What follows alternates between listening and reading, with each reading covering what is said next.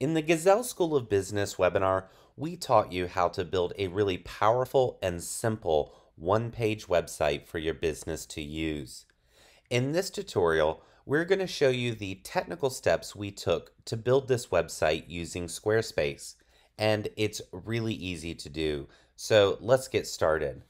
Now, if you're new to Squarespace, when you first log in, it will be empty. Uh, here is the website that we built you're going to want to come up to this uh, button up here to create a new site. So we'll click create a site. Now, the benefit to Squarespace is they have a ton of really awesome templates you can use that are already mobile optimized, meaning when you build this website, it will mobile optimize it for the small screens and the large screens all at one time. The downside is there's a ton of options for you to pick from. So, you know, you can't go wrong with most of their templates. The one thing we would recommend is lighter and brighter. You don't want to end up with a really dark and drab theme.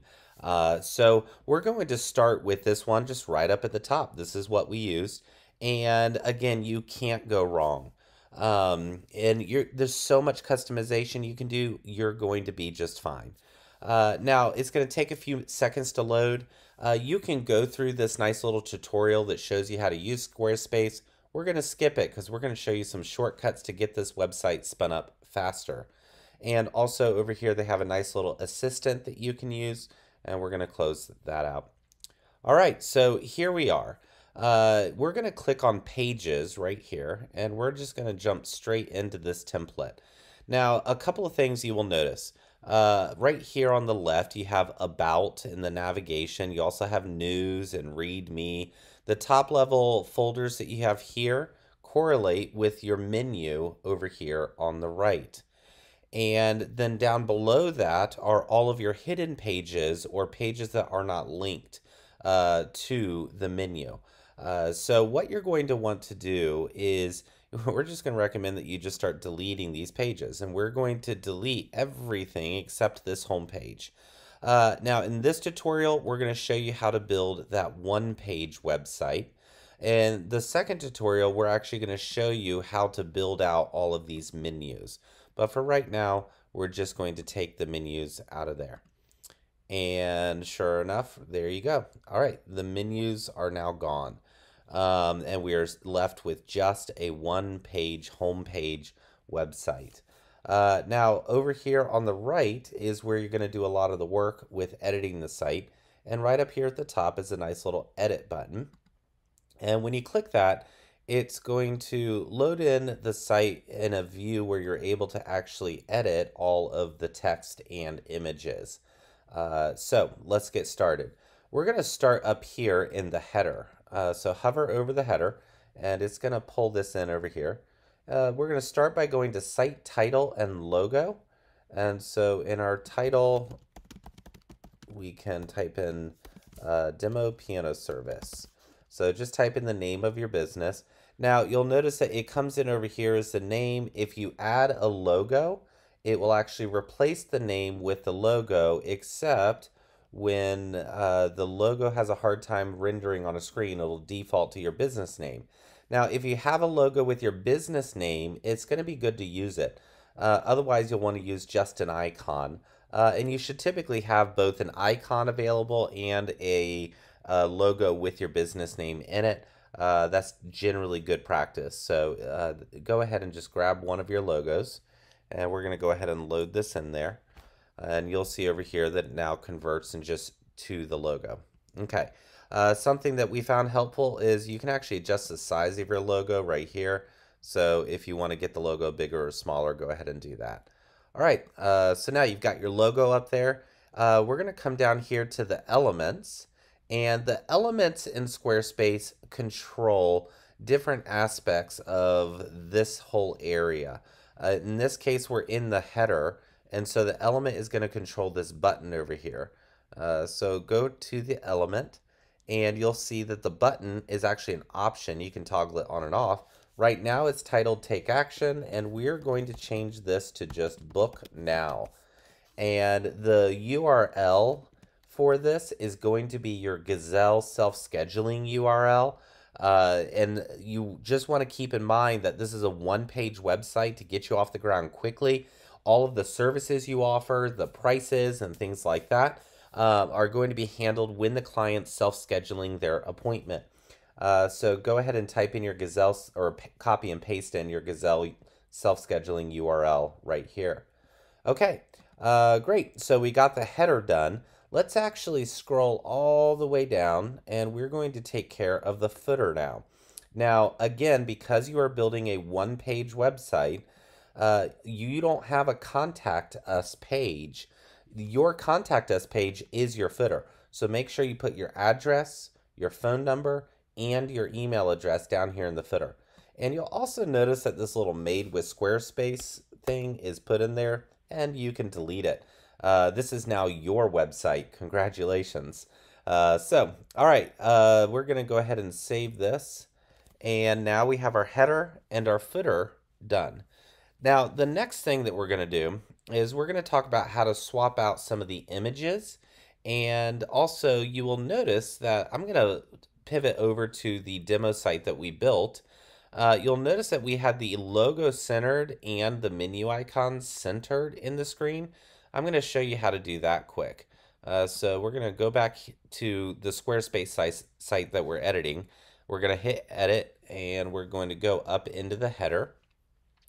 And so under your header layout right here, uh, you have a lot of different options.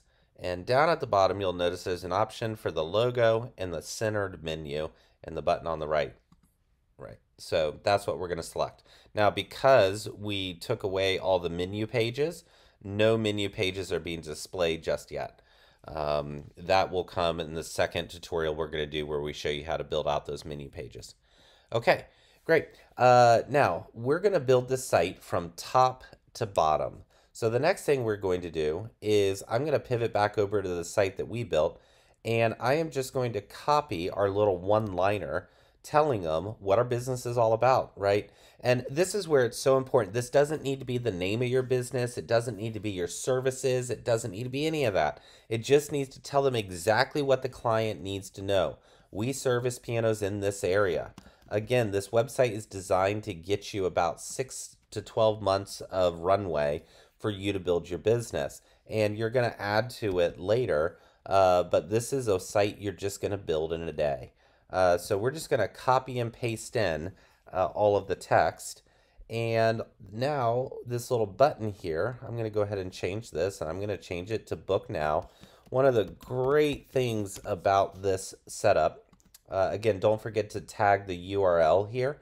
Every time you change a button, uh, you need to add in the Gazelle self-scheduling URL if you want that book now button to kick over to your Gazelle self-scheduling page. So we're going to go ahead and change that. Uh, one of the great things about this is all of your call to actions are going to say book now. And um, looks like up here in this header, I forgot to hit save when I edited the button. So we're going to come back here, go to elements, take action, all right. And there you go. Okay. Let's come down. All right, there we go. So all of your action buttons are going to say the exact same thing. This is a one-page website with a one call to action. Book now, book now, book now, book now. If they want to call you or they want to get a hold of you, that information is down in the footer. And if you don't have a menu, most people go to the footer to find all of that info. Okay, so we're going to move up. Before we move on, let's actually talk about the image, right? Because we're not a land conservatory, we are a piano service business.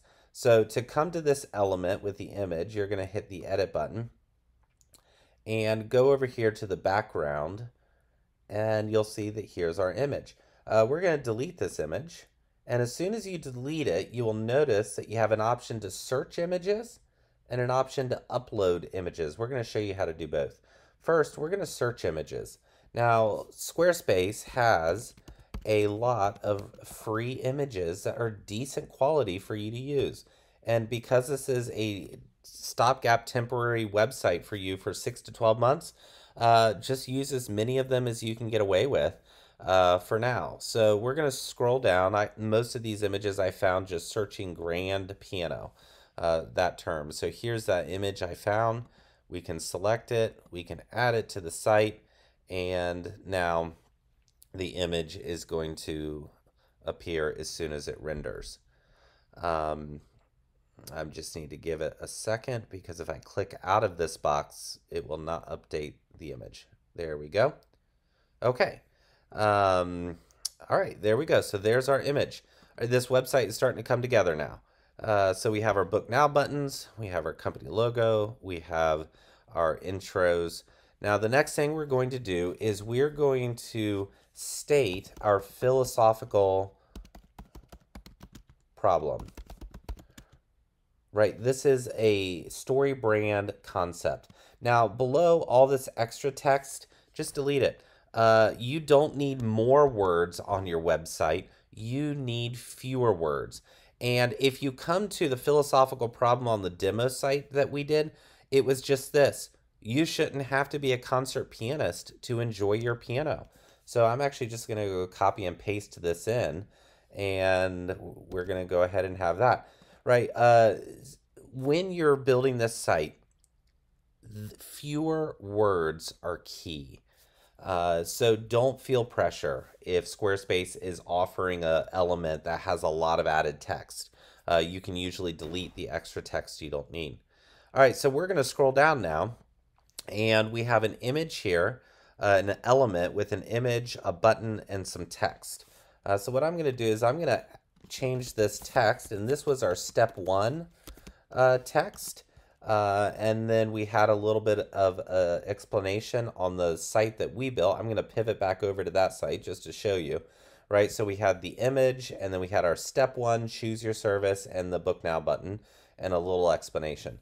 So now I'm going to pivot back to Squarespace, and here's our step one. You can edit all of this, and now our image and our button will come up here and hit edit. And here's our image, same thing, we're going to delete it. Now, if you have some images of either you working uh, or, you know, let's see here. Let me go through and just find one of those images that we used. Let's see here. Where did it go? Was it at the top? There we go. Um, all right. So if you have your own images and your own artwork, uh, you can just easily upload it right here. Um, and so, you know, get a friend to grab a high resolution uh, smartphone and camera and just start snapping some pictures of you working. Uh, and you can use those here as well. Uh, so great. We have our image. And now we're going to go over here to design and we're going to scroll down. The image link is a button and it's called learn more. So we're going to change that to book now. And there you go. And now your click-through URL is your Gazelle self-scheduling URL. Remember to change that out as well and just copy and paste that in. Again, every time you have a button, uh, you need to link that specific button. There's not a global way to do this. Um, so, all right, uh, and this is again where it's really nice to have the same button, same text, same link throughout the page. So, okay, step two uh, is right here. And you'll see I'm actually reusing some of the elements that they provided in this template. Uh, you can add all that here. We have our button and our image, so go ahead and go here. Now, I'm not going to change an image every single time for this tutorial, so I'll let you do that. Uh, but I am going to come in here and one last time remind you to change the button to book now uh, and then type in or paste in your Gazelle scheduling URL. All right. There we go. Now, you will notice the, we're out of provided templates and elements for this uh, particular Squarespace template. So I'm just going to delete this subscribe feature down at the bottom. Uh, we're not going to use it. And now you'll see this little plus icon where I can add a new element. And we're going to scroll down and I wanted a step three. And so now I have a picture and I don't have the right fonts and headings, but I can go ahead and just write step three um, here. And uh, if I can There we go. Uh, I'm to highlight it and then I'm just to change this up to heading 2. Uh, and then down here, I'm to change this down to paragraph 1. Right, and so this is starting to look a lot more like, actually I think I used, uh, let's see here what this, this was heading 3 and this was paragraph 2. So you do want to keep that consistent. So let's go ahead and change this. Heading 3, and this was paragraph 2. So it was all just a little bit smaller. There you go. Um, all right, so now that's consistent. You can change the image and remember to change the button and link it. Okay, great. So the next thing that we did, I'm going to move over to the website that we built and scroll down. There's our step one, our step two, step three.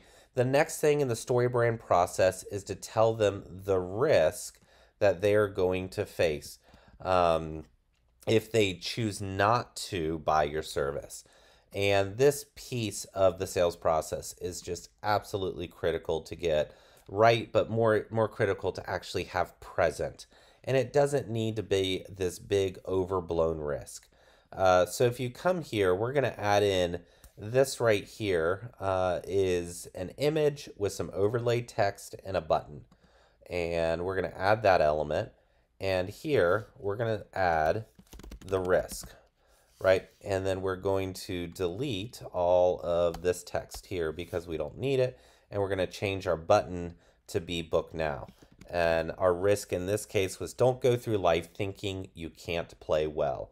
The implication here uh, for the consumer when they're reading this is hire me to work on your piano, right? You don't have to go through life thinking you can't play well. Hire me to work on your piano. Um, but that is implied, right? That is the action they need to take when they book now. And that's why they're going to want to book now. So, all right, so we have our risk. And the next thing in the story brand process is to tell them what success looks like. You, you told them what failure looks like and what the risk is. Now let's tell them what success looks like. So we're going to add a new element. And here, uh, I ended up going with this element here. And you, you can use any element that you think looks good. Just keep it simple. And if you find yourself uh, spending too much time on it, uh, just pick something and run with it. Uh, so right here, what we did is we combined the success really we just told them like hey success looks like discovering music that enhances your life and then our transformation when it comes to the story brand process was right here right? This is how you can tr easily transform from somebody who doesn't know how to play the piano to somebody who does know how to play the piano. And this reality is going to transform your life right? And so we combined all of that in one squarespace element. Uh, so that's what we're going to do here. Uh, so when you come over to Squarespace, right, this is the success. And this right here is the transformation. Right, and so that's what we ended up doing. Uh, so our success, we're just going to paste that in there. And then here, our transformation. And there you go. Uh, we don't need to use a lot of words. And again, we had the image and the button. And so you just want to remember to change that to book now and your URL. Okay, if we go back to our website that we built, the demo site, if you scroll down, there's one more element that we did. And this is the five-star reviews. If you don't have reviews, you've probably already done enough work for some good people who are really nice who will give you a review. Just go get a few. Uh, you could have one, you could have two, you could have three, you could have four. You don't really need more than five on your website. And so we're going to show you the element that we used in Squarespace to build this. Um, and again, also consider uh, going and either paying a professional photographer to take some pictures of you in your work attire uh, against a light wall or something like that um, to get some good images of you looking directly into the camera and smiling right because that makes it feel like you're connecting with them on their web on your website um, so coming over to squarespace at the very bottom here we're going to add a new element And this particular element was a list. And this is what I used. Now, it looks a little bit different. So I'm going to show you how I tricked Squarespace into doing what I want. Right? Because if you look up here, uh, we've got this like big full bleed picture and then white space. And if you come up here, our steps were white space. And then we had this big full bleed picture. And so I was just transitioning from dark to light to dark to light. Only here I went from light to light and all this just gets washed out. So I wanted to actually put an image in the background. And you can do that on all of your elements. Uh, so I'm going to upload an image here. And we're going to do this guy. And again, make this a picture of you. Now, the one thing you want to do is let this thing run. so many times I go to upload a picture and I click out of this and it doesn't actually upload the picture. So just be patient and it's going to go through its thing and render the picture. Um, but yeah, make, you know, get a good picture of you up there. And all right, all of a sudden you will notice a couple of things. Number one, ah, we don't really want pictures on top of pictures. So I'm just going to go delete these and delete that, right?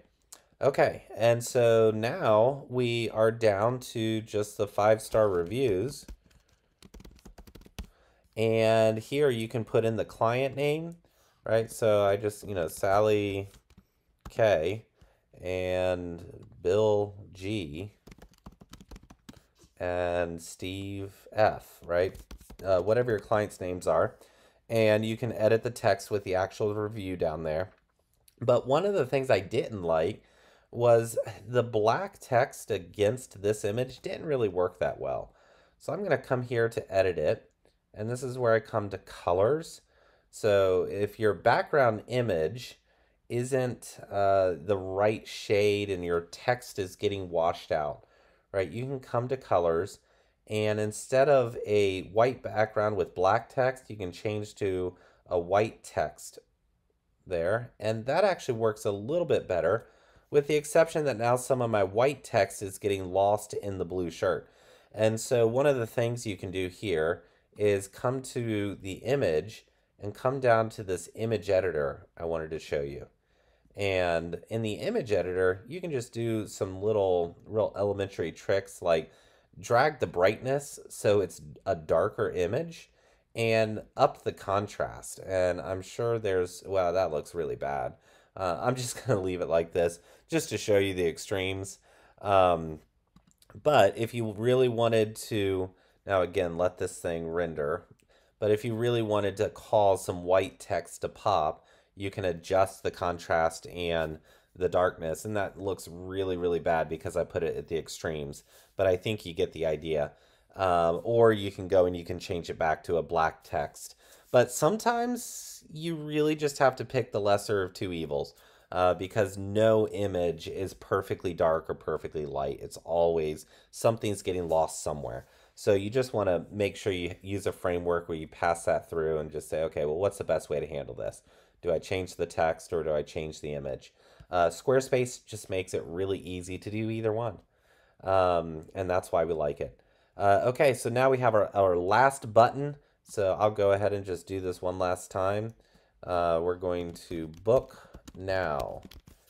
And again, put your URL for your Gazelle self-scheduling page here. Okay. Well, there is our one-page website. And it is uh, going to be a powerful website for you to use uh, it uses the StoryBrand process. This is a proven process that works. And if you have any questions about, you know, just as you're putting this together, how to keep it simple, how to do it quickly, obviously we're not experts in Squarespace. We just like this product because it is really easy to use. And there's other products out there you can use. Uh, and Squarespace has a ton of tutorials for you to easily learn how to use their product. Uh, but if you need any help on just the business application front, or you you just want to run some things by somebody, uh, you know, we can. We're happy to help you in any way we can. So reach out to the team at Gazelle. Support at gazelleapp.io.